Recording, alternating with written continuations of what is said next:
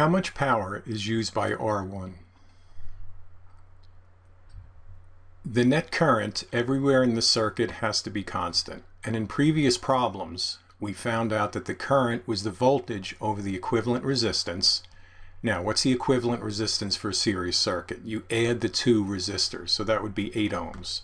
So the current is 9 over 8, 1.125A. We now want to find the voltage drop across R1, and the voltage drop is just I times R1, which is 1.125 amps times 5 ohms, 5.625 volts. Notice we're keeping too many sig figs here because we're going to wait till the end to trim it down. The power is now IV, which is 1.125 amps times 5.625 volts, and we get 6.3 watts. Was there an easier way to do this problem?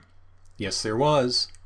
We could have used the equation power is equal to I squared R. The current is 1.125. We could square that and then multiply that by 5. And go ahead and check for yourself. We will still get 6.3 watts.